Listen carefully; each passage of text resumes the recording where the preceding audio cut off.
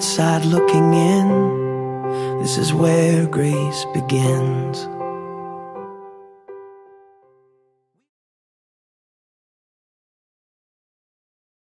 Hi guys, this is Shakti from Around the Wicket, where we not only speak about the game, but we try to learn more about the humans behind our sport. And today it gives me great pleasure of having former Australian fast bowler and current specialist coach with the Sydney Sixers, Geoff Francis or Henry Lawson. Uh, Geoff has played 46 test matches for Australia and 79 one-day internationals, taking close to 270 international wickets for, for Australia. He has also coached uh, Pakistan cricket uh, in 2007-2008, and we will find out more about that period. And currently is a recognized voice with the ABC. Geoff Lawson, thank you so much for joining me on Around the Wicket. Uh, absolute delight to be on Around the Wicket with you, Shakti. Geoff, you were born in Wagga Wagga, a country town in New South Wales. Um, you first cricketer to come from that area. I mean, since then we've had Mark Taylor and Michael Slater, the known ones. Um, tell us about the cricketing landscape in Wagga Wagga.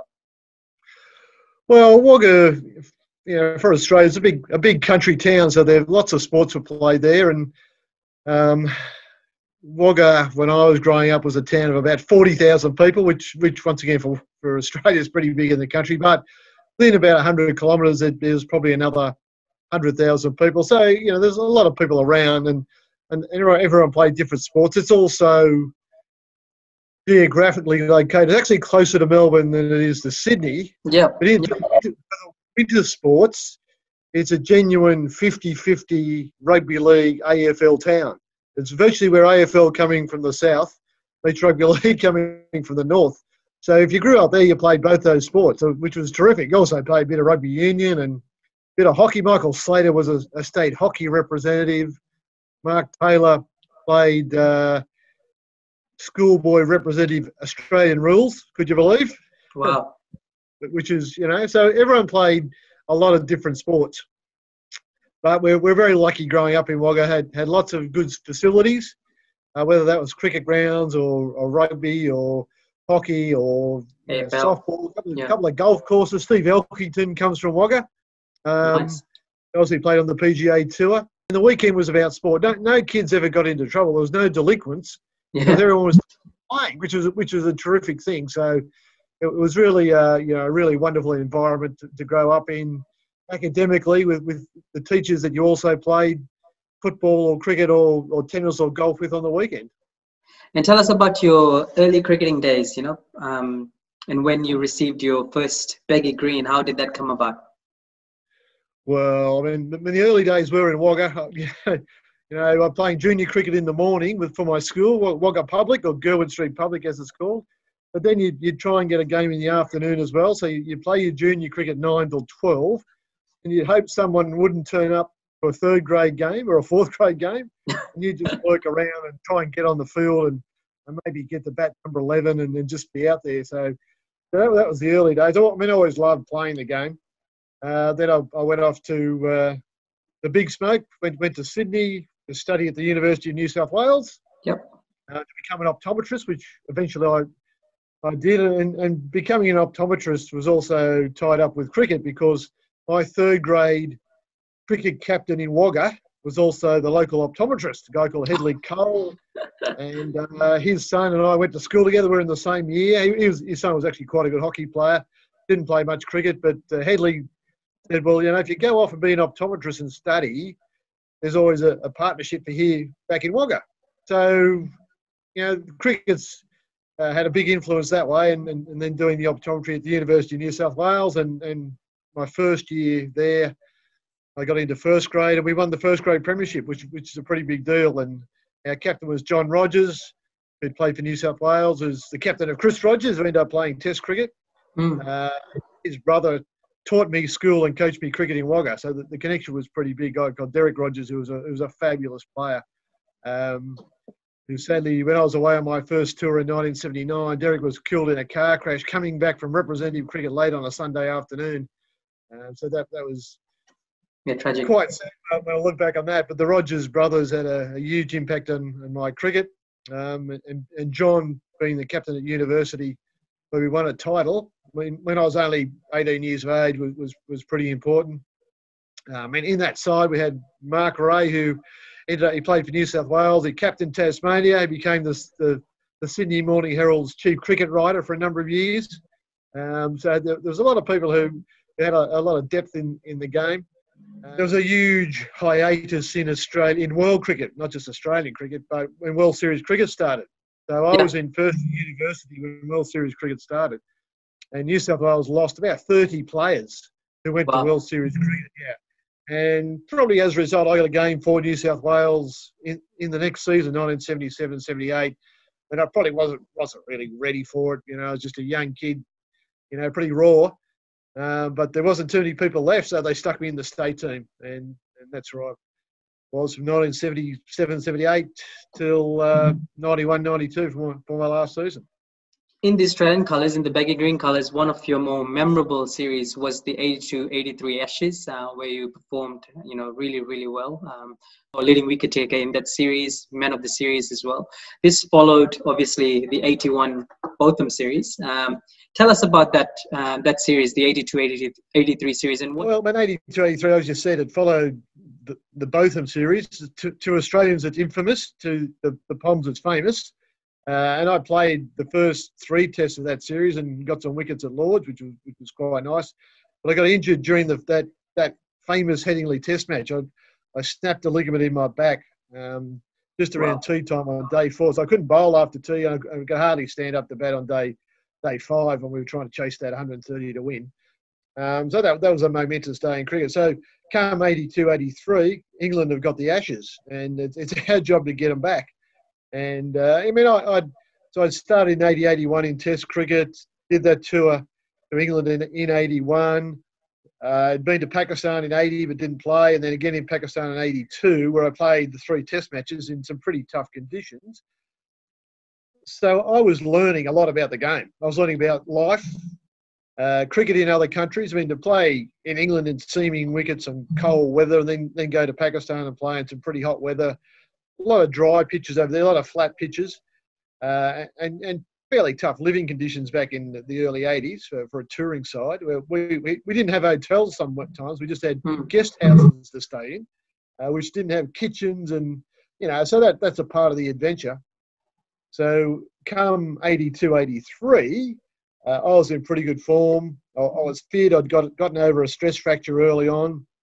Um, I'd learned some new training techniques. You know, I was I was confident on my own game, uh, and uh, got picked for the first test of, of 82, 83, uh, where you know Dennis Lillee um, did his knee, couldn't play, and then Terry Alderman.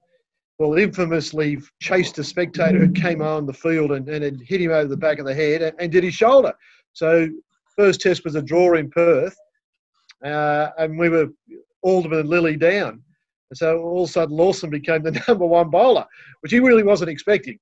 Uh, and then uh, Jeff Thomson jumped in, Carl Rackemann jumped in, Rodney Hogg jumped in, and uh, we all had a pretty good series. But that, that attack came around pretty much by accident. But look, I guess the fact that you know Dennis Lillee was was the you know he was the headline act. He was the experienced bowler. You know he was he was the great of the game, and it was terrific to have him in the team and learn from him. And uh, very suddenly, those two were out, and you know, responsibility went elsewhere. And you know, I, I guess I responded to it.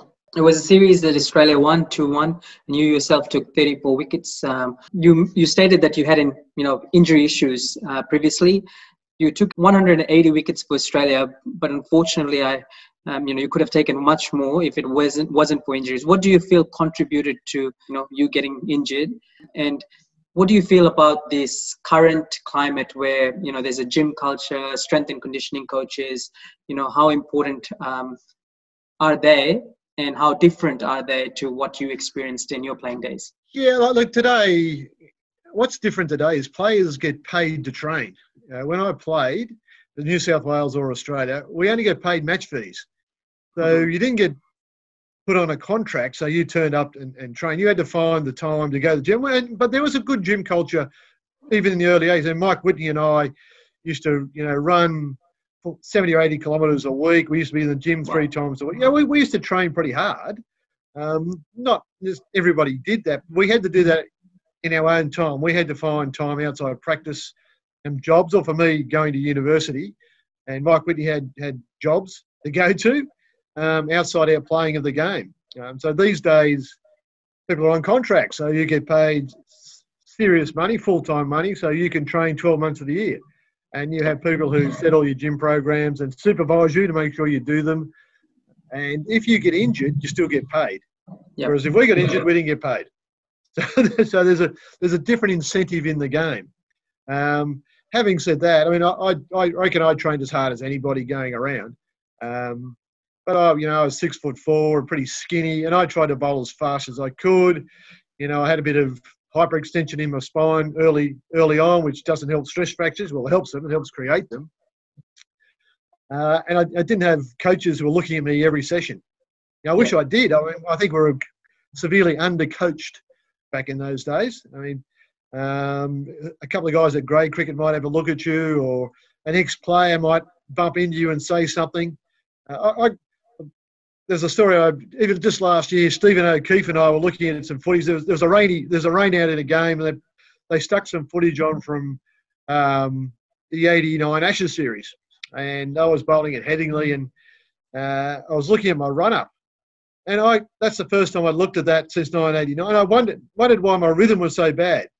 It took me 30 years to find out, because I didn't have a coach to tell me, and I really battled through that series to find a great rhythm. I you know I bowled okay, but it always felt awkward and it, it was a bit out of kilter. And I'd had one look at a replay 30 years later, and I could see what was going wrong. I said, why am I running out there? It was a stupid angle I was running at, but it just just happened.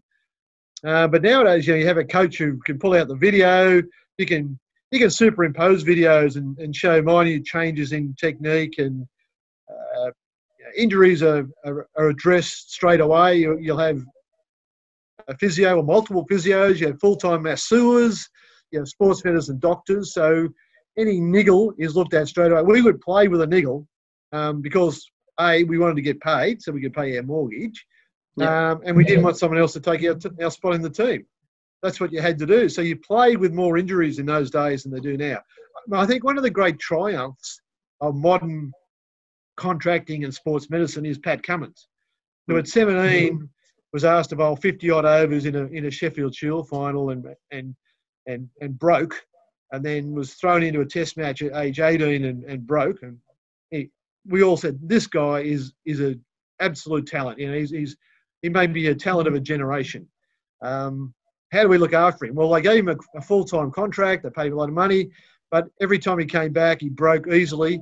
But they had experts to look after him, uh, and he could continue to train.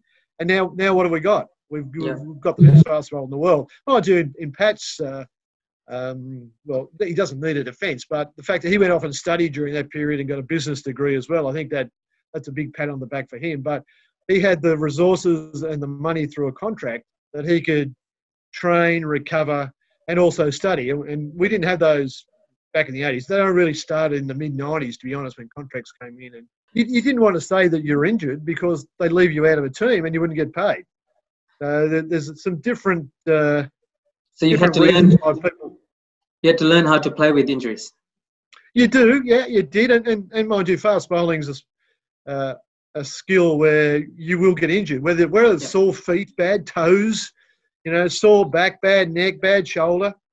You'll get all those because you're you're expressing yourself very very physically, yeah. uh, and you're pushing the envelope all the time. So yes, injuries are going to come more likely bowling fast and, and bowling off spinners or, or batting because um, you're going to stress yourself all the time. But that's just a part of the territory. And and even you know, I end up playing almost 200 first class games.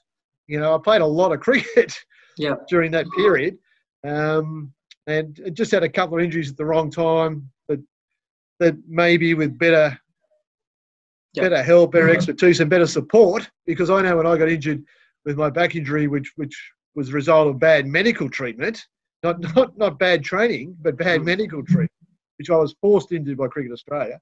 Um, That if I had been uh, looked after then, um, I would have come back quicker, played more cricket, and and uh, you know, yeah, I mean, sure, you, you always like to get more wickets, but yeah, I mean, I would have got 200 and, and more Yep. test wickets, but that's the way it goes. Geoff from Australia, um, moving on to you know your coaching stint with Pakistan. Um, you know there have been rumors, uh, or there were rumors um, when you departed from the team. Uh, you know to and fro, but from your uh, you know from your mouth, what was the experience like, and why do you feel you know your departure came at that time? Well, the experience was was a fabulous one. Absolutely fascinating to be a part of the team, the culture, the, the cricket of Pakistan, the cricket of, of the sub of the subcontinent. I was the last time I was the coach last time India played Pakistan in a Test series. Yeah, That's how long ago, and it was Yeah. it was wonderful. It, it was in India, three tests, five one days, and uh, it was some of the most exhilarating cricket I've ever been involved with. And that's a that's a tribute to the players of both sides and also the fans. The Indian fans were just simply wonderful to the Pakistan cricket team. Uh, but yeah, look, I had a great time. Um, I learned a lot about life. I learned a lot about cricket. I, I learned how other people go about their jobs. Uh, you know, I learned more about the politics of cricket, which is always going to happen. But but going to Pakistan, I mean, I went, you know, with my eyes wide open. I only took the job because they had terrific management at the time. You know, Shafqat Naghmi as the as the CEO and uh, uh, Zakir Khan, head of operations, and Nasim Ashraf, the, the the chairman at the time. They were really wonderful people, and their their administrative staff, uh, Subhan Ahmad, and, and these guys um, were really Hmm. trying very hard to get Pakistan on a very consistent cricket path, and they're putting a lot of resources into domestic cricket, uh, and they were treating the players, I thought, with with a great deal of fairness. Uh, and but they were forced into a certain position of, of picking a very young side after the 2007 World Cup, uh, where unfortunately Bob Woolmer died and Pakistan performed poorly, and there was there were a lot of other rumours going around. But I made it very clear that if there was any any issues, any trouble, I'll just walk away. It's, it was pretty straightforward.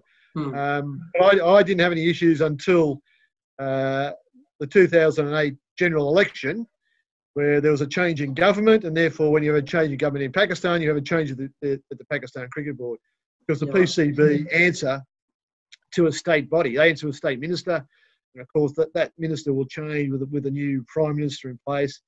Um, so it was really the, the result of the national election, and, and of course, you know, uh, uh, Nasim Ashraf got replaced uh, by a guy called Ejaz Butt, who, you know, quite frankly, then embarrassed himself with the ICC and nearly every other cricket authority around the world. And he said, uh, I think the exact quote, uh, Lawson is not for us. It, I hadn't even met him at that stage.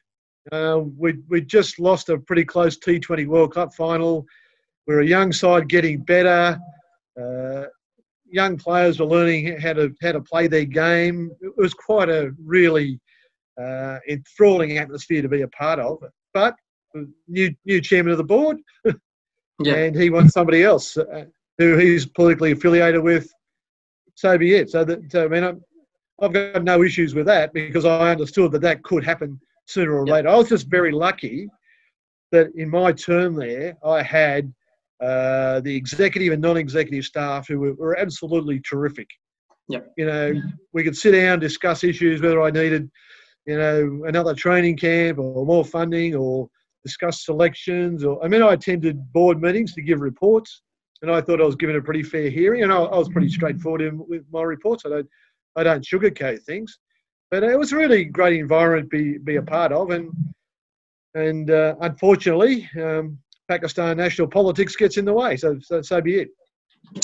Um, I guess one of the you know more controversial parts um, you may have met in Pakistan was you know when you had to give a review uh, or a character reference for Salman, um, the disgraced Pakistan cricketer, due to the you know the infamous incident uh, in England. Um, do you still feel that you know you gave a fair reference and you know bias aside, I guess uh, you know your experience with Salman was was favorable? Yeah, I mean, I mean, when people ask for references, and I've given a number to a lot of people over the years, I, my reference is based on my knowledge of what people do. And, Yeah. and yes, of course, I was very disappointed uh, that, that Salman had been involved in the, the spot fixing, um, and Amir was a part of that. I mean, he was just a young guy coming through the ranks when I was there. I'd met him, and he was just a lovely, natural person and cricketer. But but they, they come under a whole lot of different stresses. People don't understand the kind of stress that these guys are put yep. under. Um, but I mean, I gave a reference um, that reflected my personal interactions with Salman Butt, and and I.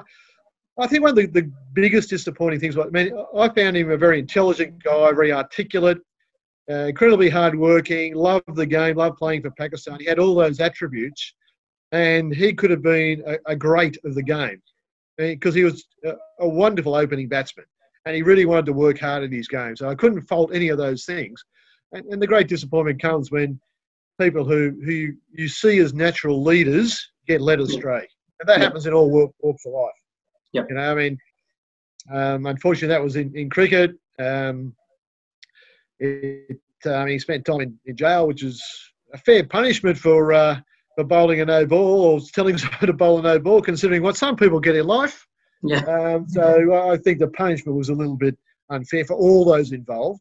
Yeah. Um, I don't think it reflected um, the severity of the issue, but it did send a message to everybody, everybody yep. involved in the game, that if you do this, you could spend time behind bars. So from that point of view, it it, it uh, in a harsh but maybe yes, you know, a very indicative penalty.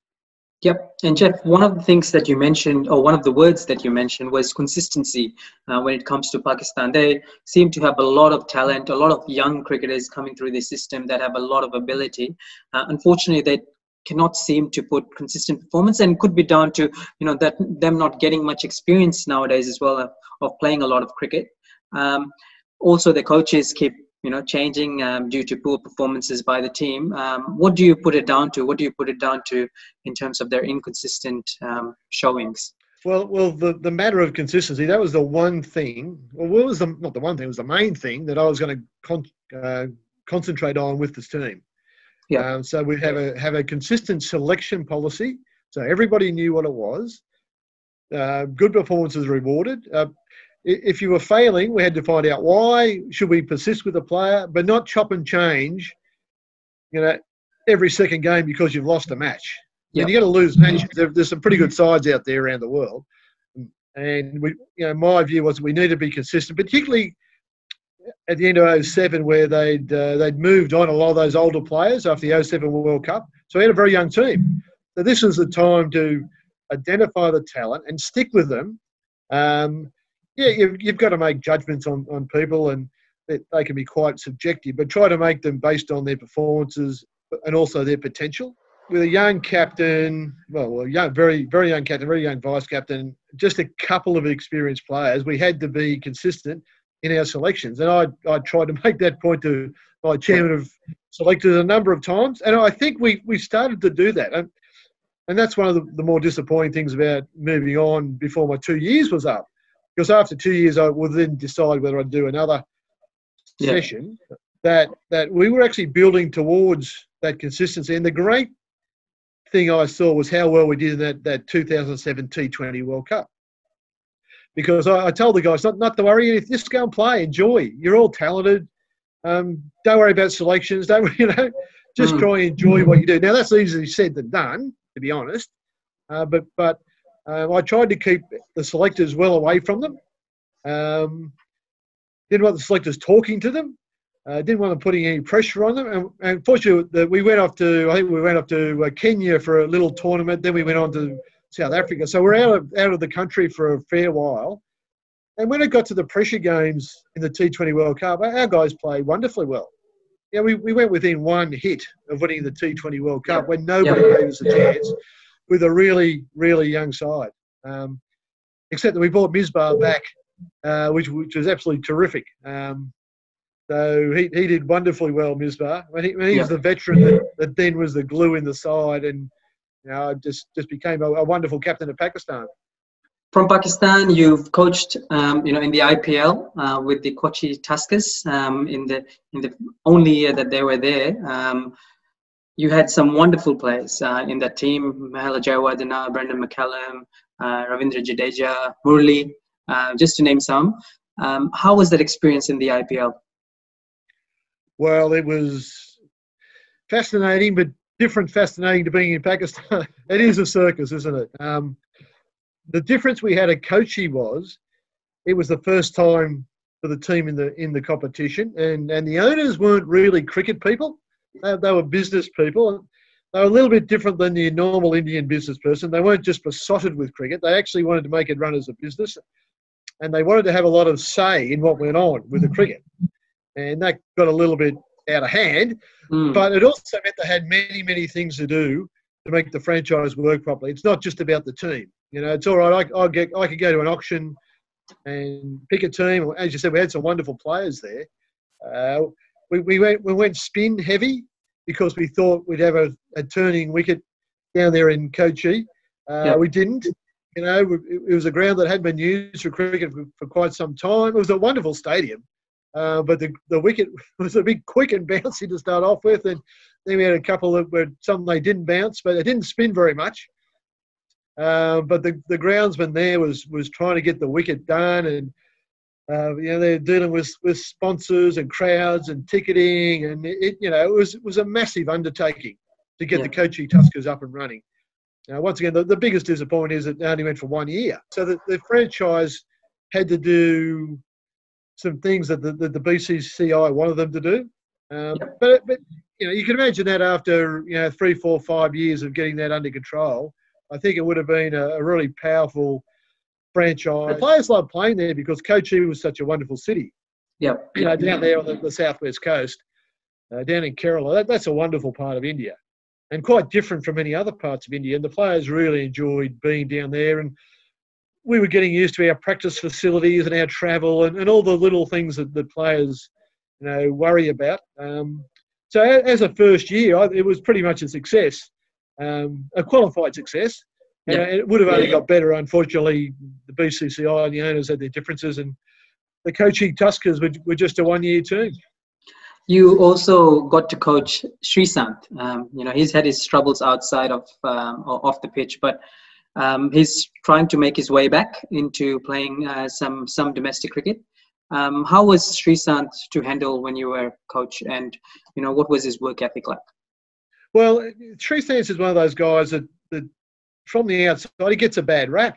I just mm. loved dealing with him. He was incredibly enthusiastic. Um, training wise, he worked as hard as anybody. Yeah. You know, he was, he was a very hard trainer, very hard practicer. And of course, he comes from Kerala. You know, he's only one of, I think, two test cricketers ever come from Kerala.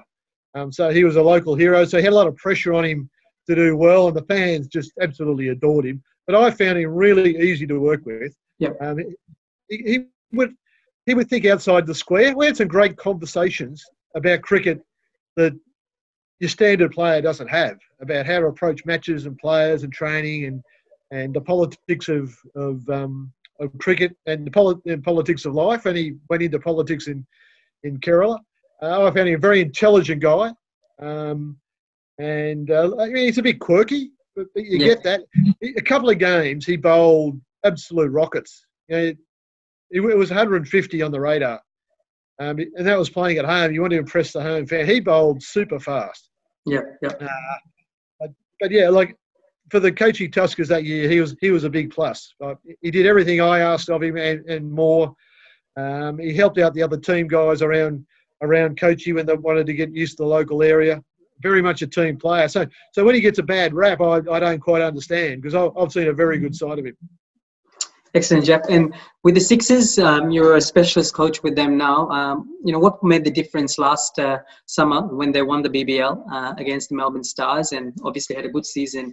Uh, we had Greg Shipperd uh, about a month ago um, telling us about you know why the Sixers succeeded. But in your opinion, what made them um, you know perform that well?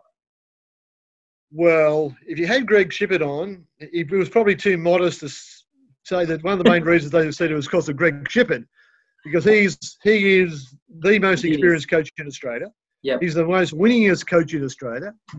Um, obviously, a long experience at Delhi as well through the early days yep. of the IPL. I mean, I coached that year. I was with with uh, the the Tuskers. I coached the game against Greg uh, at, at the at the Feroz uh, Kotla, Kotla um, yeah. which was which was terrific. But uh, I've got to know him, know him a, a lot more since then, since he's become involved with the Sixers over the last well six or seven years, really. Um, and, and, he is a very well prepared coach. He, do, he takes the players as individuals. Uh, there's a lot of coaches around, particularly younger coaches, who just start out, they think there's a, a formula how you deal with everybody, and there's not. You've got to deal with everybody individually, and Greg gets to know what works best for all the individuals. Mm. You know, whether it's Moises Henriques, whether it's Tom Curran, whether it's Steve O'Keefe, Greg works very hard at, at, at, finding out everything that needs to be done. And then at, at game time, um, he lets the players do their thing. He understands yeah. that the captain is in charge of, of game time. You know, and having good captains really does help. And having great captains, Moises Henriques is, is a super captain. Uh, smart guy, very good cricketer, uh, but understands T20 in particular very well. Yeah. Uh, you know, and the, the win was about, you know, everyone performing at the right time. You know, say, whether it was, you know, Tommy Curran was terrific, James Vince was terrific, uh, Steve O'Keefe, the spinners did a great job. Nathan Lyon continues to show that he can play all forms of the game. Which yep, yep. Sixers are always happy to have him, and yep. also New South Wales are always happy to have him, whether it's white ball or red ball cricket. But the, he is just a phenomenal Nathan Lyon, and he loves putting on the magenta and playing for the Sixers. Josh Hazlewood came in late and, and bowled superbly. Uh, you know, it was, it was a terrific all-round performance. You know, T20, you know, you need to play well and you need a bit of luck. Uh, I think the Sixers had, you know, a few things just went your right way at the right time, but I think they really did deserve uh, to win the title in, in the end. Um, yep. it, was, it was the result of, I think, a, you know, also four or five years of hard work. You know, you know Sean Abbott developing as, as an outstanding T20 bowler and having that sort of attack that could to really you know, limit sides in their scores. And then uh, you know, we didn't have to chase big scores too often. Uh, a couple of times we did, we, we, we got them. So, yeah, team performance, you know, pat on the back for Greg Shipperd, well prepared by the best coaches in the world. Yep. And one thing you mentioned actually that cut off was uh, that the selectors don't have confidence in Nathan Lyon in the you know in the shorter form, um, but his record tells otherwise. Um, Geoff, you are an advocate for gender equality in sports. Um, you know, with the Fair Break global movement, um, can you share some um, insights onto that movement and you know the wonderful work Sean um, Sean Martin has been doing as well with with the group? Yeah, I mean Sean Martin, you know, has been working very hard. Oh, I don't know how many years it's been. It's been a lot. he, he, never mm. gives in. You know, initially with Lisa Sthalekar, he saw what a bad deal she was getting. Uh, fortunately, since those days, uh, the lot of women's cricketers has improved a great deal, and the WBBL has been a been a part of that. Uh, let's hope through the through the COVID uh, interruption that uh, you know women's sports seems to be taking a hit in general, and let, us the, yep. the WBBL schedule to go ahead. We're not sure what's going to happen with our overseas players at the moment but uh, it's interesting times that we live in, so we're just got to play that one by ear. But but Fair Break has, has been working hard for a number of years to try and give our not just our women cricketers, but, but people involved in cricket more opportunity. So it's you know we've had players from Botswana and uh, uh, Oman, yeah. yeah, even for our game at Bradman Oval uh, earlier on in the year, we flew in a young young girl from South Carolina, or North or South Carolina, well, one of the Carolinas. Um, 15 year of Indian descent. Her parents, I think, originally came from Hyderabad. She was a 15 years old and she could play. She was a seriously good player, and she came over and, and joined in all these other uh, great players like Alex Blackwell and Sana Mir and these sort of you know world ranked players, and that was just wonderful to see. So the intention was this year was to, to be in the states uh, having a look yep. at more players. But of course, you know, all those plans are on hold at the moment with, with lack of travel. I think we'll still try and get our games together, whatever hubs we can find around the Pacific. Uh, but Shakti, don't ask me what's going to happen next week or the week after because nobody knows at the moment.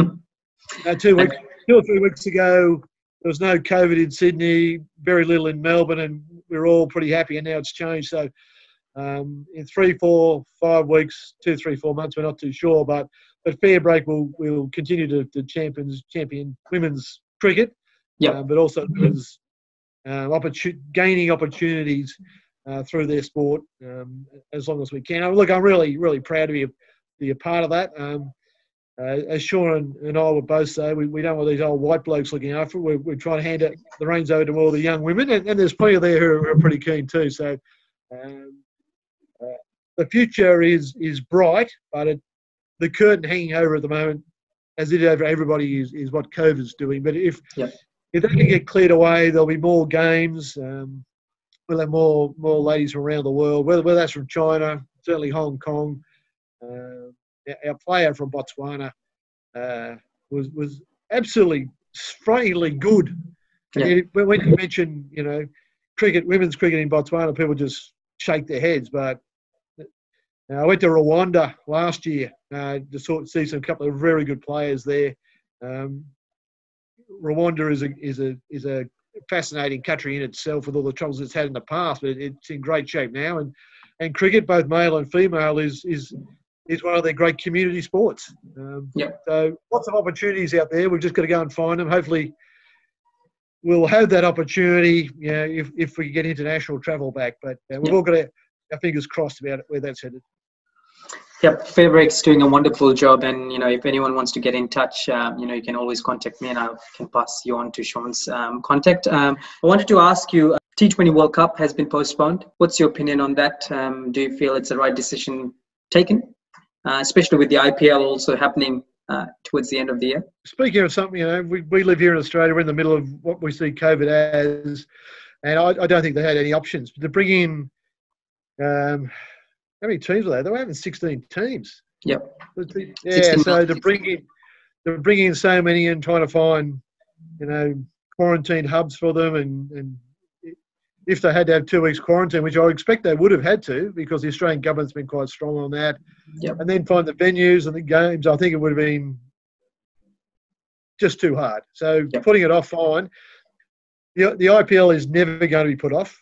Uh, now, how they run that, I'll be fascinated because I've got some friends in India um, who are tucked away and quarantined and not let out. So, uh, how the IPL is going to work, I'm not too sure. I'm, I'm going to be fascinated. Will the overseas players want to turn up in India um, to play? Well, Yeah. it'll be Yeah. money, money versus virus, won't it? So, I think it's moved. It's moved to Dubai, isn't it? So yeah, in the UAE. So that will be interesting as well. Well, if they just move it all there, well, once again, easier to control. Yeah. Um, and yeah, I mean, the, I guess it's a bit. If they do that, it's a bit like what they've done for the football codes here. You move them all out of Victoria. You try to put them in the safe places, um, and you just got to play as many games as you can because people will watch it on. T- people want to watch it. It's very important. It's much easier to uh, to run that in in the UAE. You do Yeah. you, know, you do Sharjah, um, Dubai, Abu Dhabi. I guess you at least you've got three grounds and you do what you can. Yep, let's go. Let's go for eight rapid fire questions. Actually, nine rapid fire questions. Who was the cricketer you looked up to when you were growing up? Uh, Dennis Lillee in the backyard, and I ran in past the clothesline and bowled to my brother. I was definitely Dennis Lillee. Question number two Who was the toughest batsman you have ever bowled to? Oh, a lot of tough batsmen. Uh, bowling to to Javed in Pakistan doesn't come much tougher than that. Bowling to Viv Richards anywhere doesn't come much tougher than that. Uh, yeah, I'd say I say Javed in Pakistan number one, Viv anywhere else number two. Question number three Who was the most annoying teammate of yours? That is uh, the easiest question I've, I've had in my life. It's Greg Matthews. He's the most annoying player of all time, and I did yeah New South a lot Wales. of, Greg Matthews. a lot of time in dressing rooms with Greg. Mind you, he could play. He was he was Yeah. uh, a, a great player. Um, this question, I guess it's um, of the current lot. The four batsmen that are named in the Fab Four: Virat Kohli, Steve Smith, Kane Williamson, or Babar Azam. Who's your pick um, in terms of who you like to watch or who you think is a better batsman? Well, I think Steve Smith's the better batsman, but watching him is, you know, fascinating. You need to need to tie yourself down to your chair. I mean, Yeah. I, I, I started laughing when I watched Smithy bat. You know, when he's doing his mannerisms, it just, it just I can't be serious. And then he'll, if I was bowling to him, I wouldn't know what to do. I, I would have to turn away straight. I couldn't watch him. I just have to focus on bowling the ball because you, you need to do that. Um, yeah. Kohli, I, I love watching Kohli. Babar Azam's getting there. Um, Yeah. As, you know, I, I still love watching Pakistan play and do well. And Babar Azam is is go, only going to get better and better. And uh, Williamson just keeps holding New Zealand together. So four terrific players. Yeah. Um, Smith So you- in great form. Yep, of, of the four, you'll pick Steve Smith for now. Uh, question number five Of the current fast bowlers, who impresses you the most? Uh, there's a lot. Um, the Kiwis have got some terrific bowlers. Uh, Lockie Ferguson, I love him. You know, if Yeah. he can stay on the park, he, he bowls sharp. He was great for them in the World Cup and, and bowling fast with a terrific slow ball. Mitchell Starc when he's on song, but Pat Cummins number one. Um, and uh, India, of course, uh, with uh, their man with the straight arm. Bumrah, Shami, Yeah, well, and Bumrah um, and uh, oh, like, like Shami's a real pro, um, but uh, Bumrah is exciting because he's so explosive. I mean, how can you bowl 145 by five steps yeah, yeah.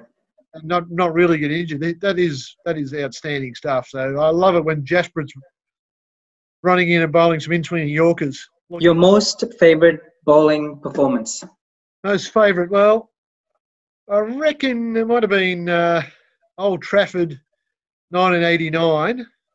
And I got six in the first innings because that was a, a, the the Test match that decided the Ashes, Hmm. and Australia got the Ashes back and re- regained for the first time on English soil for 55 years. And I got six in the first dig. I only got th- only got three in the second. Got I think it was man of the match. So I reckon six for whatever it was. I can't remember the number.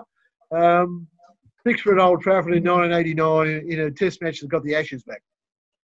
Question eight What do you feel the women's game has that the men's game doesn't? That is a very, very interesting question. It's got lots of things. Um, it, it's got uh, a great competitive spirit, but it doesn't seem to have the uh, the divisive edge that the men's game can have, Yeah. which is a terrific thing. I mean, they play hard. They're very competitive ladies, uh, very skillful. Um, I think the modern cricket bat suits women's cricket. Uh, the modern cricket bat needs to be curtailed in men's cricket, but it suits women's cricket you know, they can now hit cover uh, extra cover drives for six. Hmm. You know, that, that's a terrific thing. If you're good enough, um, if you can bowl it straight enough, you get rewarded. So there's a lot of skills happening in women's cricket, but I reckon the, the difference is is the competition. It's, it's almost a pure style of competition, and Yep. you know, you, you occasionally them see them have a word, but generally they're smiling and laughing, and you know, they drop a catch, they're disappointed. Uh, but you, you don't see negative reactions from them. They tend to get on with it.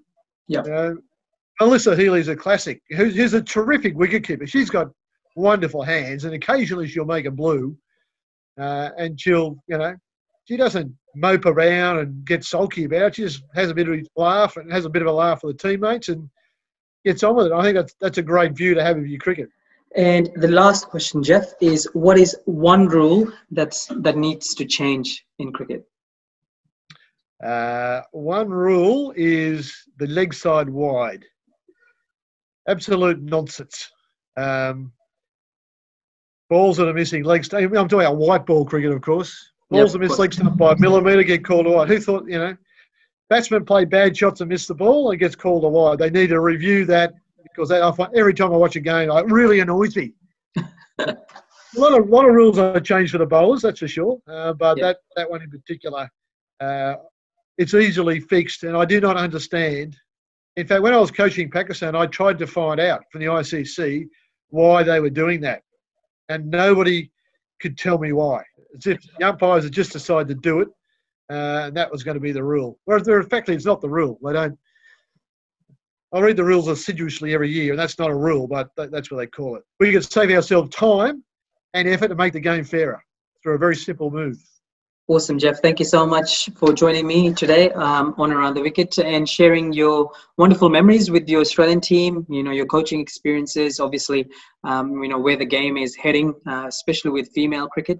All the best with Fairbreak. Um, hopefully, we can see more development of cricket in Associate Nations, especially. Thanks, thanks, Zach. Same to you. Everyone who's tuned in and is going to watch, make sure you stay safe and everyone do the right thing, please. A mask, clean your hands, keep apart. We'll be a lot better off.